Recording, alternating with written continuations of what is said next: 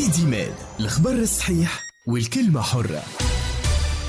نص نهار وثلاثة دقائق صباح الخير على سلامتكم أهلا وسهلا ومرحبا بكم. ميدي ميد الثلاثة 24 أكتوبر 2023 équipe العادة حاضرة ترافقتم من توا حتى الماضي ساعتين؟ ساعتين نحاول نرجع فيهم بالقراءة والتحليل. على آخر مستجدات الوضع في بلادنا يجي بحثنا بعد موجز ماضي ساعة ولو كود ضيفنا السيد محمد صالح العيادي عضو المجلس الوطني للجبال.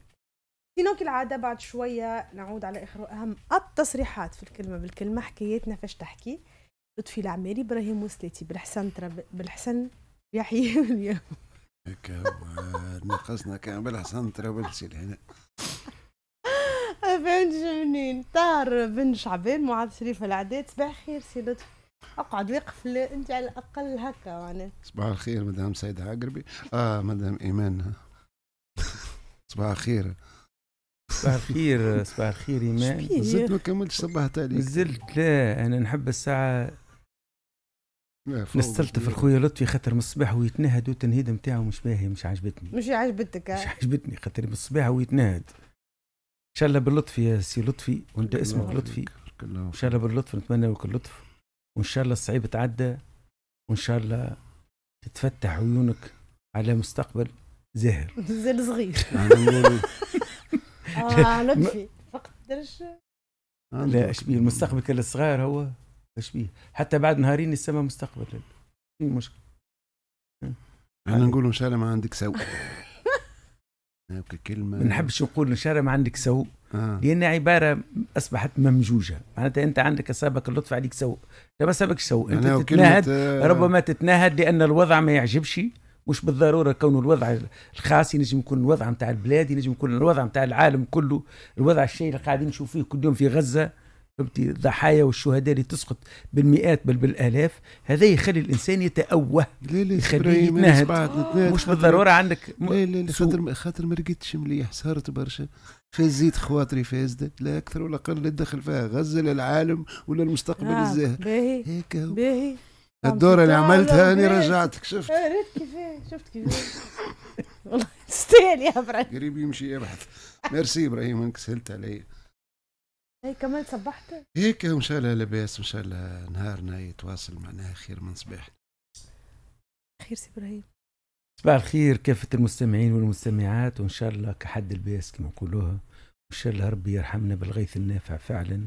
إحنا محتاجينه بشكل لم يسبق له مثيل لأن نشوفه اليوم حتى السخانة مش توصل في بعض الأحيان ل 37 درجة وإحنا تقريبا هنا على بعد شهر ونيف ربي، أيام من دخول ربي. الشتاء. الحمد ربي ما يعجبكم العجب منذ قليل نطق باسم وزارة الصحة في غزة يعلن الانهيار التام للمنظومة الصحية في مستشفيات القطاع. تشرط وسخانة ومطر و... هذا- هذا لا حتى المطر تسب في غزة تنفع لأن على الأقل شوف إحنا العرب بصفة عامة وخاصة الزعماء العرب لهين كان في المزايدات والشعارات الجوفاء اللي كانت من أسباب النكبات والنكسات. أنا نقول ونأكد اللي يحب يعاون المقاومة الفلسطينية عنده ثلاثة حاجات ينجم يعاونهم بهم. إما بالرجال إذا عنده في العق رجال يمشوا ينضموا للمقاومة وإلا بالعتاد إذا عنده سلاح ينجم. وإلا بالمال إذا عنده القدرة كونه باش يدفع. لأن شفنا إحنا إسرائيل كيف تداعت الدول الغربية لدعمها. ونذكر لهنا وقلناها البارح أنه شفنا بارجة كاملة معناتها حاملة الطائرات اللي مشيت الأمريكية فيها 75 طيارة وعاونتها بالذخيرة والسلاح. ثم أن فما ناس اللي متطوعين اليوم نتبع والبارح نتبع في أخبار فرنسا فما فرنسيس يقول لك إحنا متطوعين نحبوا نتطوعوا نمشوا نحاربوا مع إسرائيل. وإحنا قاعدين كان بالكلام ونرفعوا في الشعارات الجوفاء لكن شوفوا إحنا الأمريكان 14 مليار باش يصبها لهم دعم استثنائي. إحنا صبوش ليه مليم يزينا من الكلام يزينا من الشعارات الفارغة. هاو ت- اجتمعوا أكثر من مرة. وزراء الخارجية العرب وزراء الخارجية نتاع 57 دولة إسلامية. قنبه صارت في القاهرة. شنو النتائج نتاعها حتى شيء. أمير قطر خرج متغشش روح لأنه حب يضمن في البيان كونه يوازي ما بين اللي صار في إسرائيل واللي صار في غزة. تغشش روح هز روح وروح. إيه شنو نقولوا إحنا؟ شنو نعملوا؟ يزينا من أو معناتها أما النصر أو الشهاده قاعدين يستشهدوا. قداش توصلوا؟ 5700 والشهيد. اللي يحب يستشهد يتفضل يمشي. مش يجي يبدا إيه، شعارات الجوفاء الشعبوية لا أكثر ولا أقل. الاستشهاد حقه فريضه تفضل سيدي. تفضلوا امشيوا امشيوا. امشيوا يزينا من الشعارات يزينا من الكلام الفارغ يزينا من الخطب الرنانة يزي. هو اليوم الرئيس الفرنسي مانويل ماكرون وصل لل للمنطقة وعبر واعتبر أنه ما حدث قاعد صاير ويحدث لإسرائيل لن ينسى أبدا وفرنسا ستدعمها في حرب ضد الإرهاب يقول سي ماكرون. واعتبر أنه الهدف الأول الآن هو إطلاق سراح جميع الرهائن دون تمييز ونوه الرئيس الإسرائيلي إلى أنه حزب الله يلعب بالنار آه، محذرا من أن لبنان سيدفع الثمن إذا قرر حزب الله الانخراط في الحرب منذ قليل وزير الخارجية البريطاني أيضا يقول ندعم حق إسرائيل في الدفاع عن نفسها لكننا اتفقنا على العمل لتقليل عدد الضحايا المدنيين. مدنيين من من من, من, من عملوا لهم سوم لأنه توا إسرائيل معناها. أخرجت نوعية جديدة من الصواريخ ما زالت معناها ما لم يمر عام على يعني تصنيعها. وتسمى باللدغة الحديدية الصاروخ هذا عنده معناها إمكانية اختراق جدار من الإسمنت المسلح اللي مبني مرتين بشكل مضاعف فهمت. دونك وعنده دقة كبيرة في استهداف معناها المرمى متاعه وبالتالي يعني تقريبا نحن نعيش حرب يستعمل فيها آخر ما جادت به التكنولوجيا مقابل تقريبا شعب أعزل صراحة أي، وفي نفس الوقت. نشوفوا توافد كبار العالم مم. على آه تل أبيب تل أبيب ما شفنا حتى رئيس عربي هز روحه ما نقولوش مشى لغزه مشى. سيدي حتى الرمله مم. لا لا الرمله يطل على عمك محمود عباس إيه. يقولوا أنا مع بعضنا. ونساندوك وكذا و... مش تتخيلي رئيس عربي. لا رئيس عربي تو يهز روحه مثلا انه يمشي لغزة كيما عمل ليه؟ ماكرون وكيما عملوا الآخرين. يقول أنا خويا مساندتي. للمقاومه. باش نمشي نسلم عليكم فقط يعني في اللي رفع المعنويات يعدي سويعتين ثلاثة في غزة يعاين الأضرار ويعمل لنا خطبة معناها عصمامة غادي ويروح. ما تلقاش رئيس عربي ولا قائد عربي ينجم يعمل حاجة كيف هناك. امبارح لما هلا شفنا الفيديو اللي قاعد يدور أثناء تسليم ال- السيرة الإسرائيلية اللي سلموها كتائب ال- ال- القسام وشفنا ربما الجدل اللي احدثوا ال- الفيديو هذيك. معناها هي ماشية للصليب نعرف شفتوه ولا لا الفيديو هي ماشية جماعة ال- الصليب الأحمر وهما يجبدوا فيها وهي راجعة للقيادين في ال في ال في الكتائب. تسلم عليهم وتودع فيهم. معناها حتى منذ قليل اعطت تصريح يقول تعا... تقول تعاملوا معنا باحترام وفروا لنا الدواء اهتموا بنظافتنا أحضروا لنا الأطباء لفحصنا لقد كانوا في غاية الود. هذا التصريح بالعبريه للإسيرة الإسرائيلية اللي تم الإفراج عليها البارح. هذا في علم النفس أصبحوا يسموه syndrome de Stockholm. يعني وقت اللي الرهينة بعد ما يتم إطلاق سراحها واللي عندها علاقة جيدة جدا بالذي ارتهنها. راهي صارت تم معناها تقريبا إطلاق التوصيف هذايا وأصبح دارج في علم النفس. صارت الحكاية في آه، السويد في ستوكهولم. أيامات آه، رئيس الحكومة اللي هو أدولف بالم ذلك الرجل العظيم اللي معناها تم اغتياله في السويد. السينما. لا شاد الصف باش يقص التذكرة. نتاعو. فوقتها تم في احدى البنوك صار هولدوب تم احتجاز الرهائن. وقت اللي تم إطلاق سراحهم الرهائن تعاطفوا مع اللي خطفوهم و يعني آه، جابوا لهم محامي يدافع عليهم. فدخل علم النفس في المسألة هذه واعتبر أنه الرهينة يولي عندها نوع من الديبوندونس لكن اللي ارتهنها وينجموا يدخلوا حتى في. علاقة معناها مم. علاقة حب اما أما كود كوم كمان معناها تتسمى مهمة ومهمة جدا خاطر ربما مجرد التصريح هذايا حتى يخلي ربما حتى آه، ال- الناس اللي هي اليوم معاه معناها ال- آه، خلينا نقول الكيان تجب تكون تراجع نحكي على مستوى مش القيادات ولكن الملوك إيه على مستوى طبعاً. الشعوب. طبعا خاصة وأنه ربما الاتجاه متاع حركة حماس والمقاومة الفلسطينية أنه إطلاق سراح الرهائن الأجانب اللي لا يحملون جنسية يحملون جنسية أخرى غير الجنسية الإسرائيلية. ونعرفوا إحنا الإسرائيليين كلهم تقريبا عندهم على الأقل جنسية ثانية إن لم يكن لازم تكون جنسية مم. ثالثة اللي تمكنهم باش يزوروا العالم باسره تلقاهم مم. عندهم جنسية فرنسوية إنجليزية ألمانية أمريكانية أسترالية عندهم موجودة فهمتني؟ وربما حتى جنسيات عربية أخرى. هذا التمشي اللي ربما ماشيين فيه وفما دولة قطر قاعدة تقوم بهذه المساعي لأن نعرف دولة قطر هي الممول الرسمي لحركة حماس. شهريا تصب لها 30 مليون دولار لخلاص للأجور.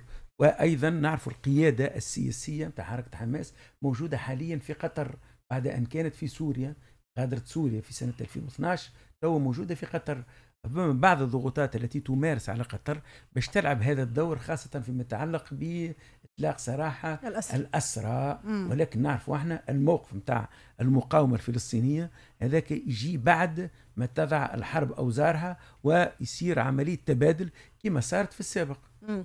mais تعطينا ال fréquence ورجع أنتم تسمعوا في راديو ماد على الصوت في نابل والحمامات وصوت 4.1 في تونس والكاب بون. راديو ماد une vague de bonheur.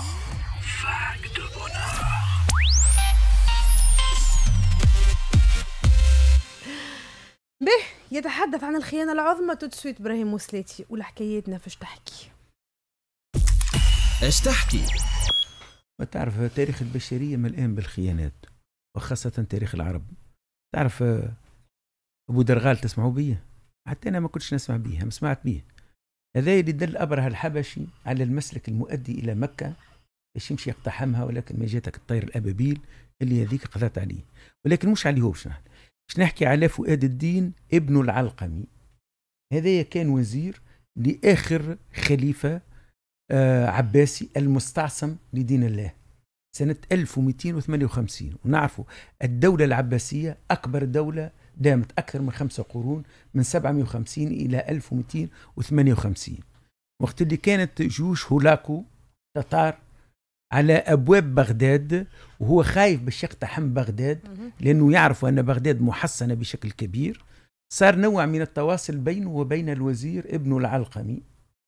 جاء قابلوا خلسة وقالوا راهو فما عندنا جيش مئة ألف جندي اللي هما قاعدين داخل يحميوا في بغداد ويحميوا في الأسوار بتاع بغداد. بالتالي راهو يصعب جدا كونك تنجم تقتحمها قالوا شنو الحل؟ قالوا أنا سأنصح الخليفة أن يسرح عشرات الآلاف منهم. سرح منهم تقريبا تسعين ألف. قادوا عشر ألاف جندي لحماية بغداد فقط. في حين أن هولاكو الجيش متاعه كان 200 ألف. وقت اللي بلغوا الخبر اقتحم هولاكو بغداد وشفنا إيش عمل فيها أعمل فيها السيف ويقولوا أنه قتل حتى أكثر من 800 ألف وكحتى المكتبات هذيك العظيمة كلها دمرها وألقى بها في البحر. في الأخير أنه ال- الخليفة المستعصم هو العائلة متاعه والحاشية متاعه رفعوا الراية البيضاء وقالوا إحنا مستعدين نتفاوضوا مع هولاكو مشى نفس الشيء الوزير متاعه هذا باش يتفاوض مع هولاكو على أساس كونه أسمح لهم بالخروج والمغادرة آمنين. ولكن هو تفاوض على أساس كونه باش وقت اللي يتم قتل أو اغتيال الخليفة المستعصم بالله يشد هو بلايصته. هولاكو وعدوا قالوا خليهم يجيوني لهنا. في الأثناء هولاكو جاب بعض المنجمين وحتى الفقهاء قال لهم استشيركم في كيفية قتل الخليفة. فما شكون من المسلمين الحاضرين فقهاء؟ قالوا لا هذا يروا النجم تكون معناتها وبال كبير يعود عليكم لأنه هو من أحفاد رسول الله صلى الله عليه وسلم. قام واحد آخر قالوا لا أو عندنا طريقة إحنا كيفاش نقتلوه مش لازم أنت تقص له راسه. حطه في شكارة وعفسوه حتى لين يموت. به هكا صارت. هذه أك تعتبر أكبر خيانة عظمى صارت في تاريخ الدول الإسلامية اللي انهارت فيما بعدها يعني بغداد والخلافة العباسية وما أدراك ما الخلافة العباسية. ويقال فيما بعد أن هذا ابن العلقمي أنهى حياته مذموما مكروها مدحورا لأنه في نهاية المطاف لم يتحصل على شيء. بالتالي الخيانات نعرفوها حتى حديث وقت اللي فما بعض المؤرخين يقولوا أن في الحرب نتاع 48 صارت بعض الخيانات خاصة من طرف الملك عبد الله الأول ملك الأردن أردن. اللي نعرفه هذاك هو كان قائد الجيوش الكل. وتعرف شكون قائد كان قائد الأركان الحرب نتاعو هو إنجليزي. إنجليزي كان قائد الأركان تاع حرب تاع الملك عبد الله الأول. نعم. سي اللي تم اللي تم راهو اغتياله وهو ماشي يصلي في جامع الأقصى. لورانس درابي القلم والممحات. نعطيكم حكايه إنها تعبر على معنى راقي جدا وهو معنى التضحية شمعة باش تضوي الغير. قالت الممحات للقلم كيف حالك يا سيدي؟ رد القلم بغضب. أنا لست صديقك أنا أكرهك. قالت بدهجة وحزن. لماذا تكرهني؟ قال لها لأنك تمحين كل ما أكتب. قالت أنا لا أمحو إلا الأخطاء. قال له وما شأنك أنت بأخطائي؟ قالت له أنا ممحات وهذا عملي. قالها هذا ليس عملا. قالت له عملي نافع مثل عملك. قال القلم أنت مخطئة أو مغرورة لأن من يكتب أفضل ممن يمحو. قالت إزالة الخطأ تعادل كتابة الصواب. صمت القلم برهة ثم قال بشيء من الحزن ولكني أراك تصغرين يوما بعد يوم أيتها الممحات؟ قالت لأني أضحي بشيء مني كلما محوت خطأ. قال القلم بصوت أجل وأنا أيضا أحس أني أقصر مما كنت. فقالت له الممحات وهي تواسيه لا نستطيع إفادة الآخرين إلا إذا قدمنا نصيحة من أجلهم وتضحية من أجلهم. ثم نظرت الممحات إلى القلم بعطف بالغ وقالت أما زلت تكرهني؟ ابتسم القلم وقال كيف أكرهك؟ قد جمعتنا التضحية. أنا نقصار نكتب للناس بري. وانت تصغار باش تمحي الأخطاء هذه أحدى ما ما عادش برشا. نعرف كنتي نعرف آه، لطفي تقمص ورجع على جبة أستاذ المسرح. كيفاش قريتها بالحسن من غد يغزل يعمل شبيه شبيه شبيه. كل حاجة. كل. مقام مقال آه. والحنين هذاك باقي فيك لطفي. طبيعة داخل في شخصيتك. تحب تمثل. ولا تعرف. أما الممثل الجيد هو الذي لا يمثل. يتقمص الدور لا لا آه. لا ما يمثلش يكون كما هو. لأنه وقت تبدأ تمثل تولي تمثل على الناس يفيق بيك الببليك وما يتعداش. كيما كل واحد ما يعرفش يغني بالضبط. فيقول لك الممثل الجيد هو الذي لا يمثل هو اللي يكون تلقائي وطبيعي. هذاك اللي ينجح في مهنته كممثل. وحديثنا قياس. هاي سيدي خلينا نعود على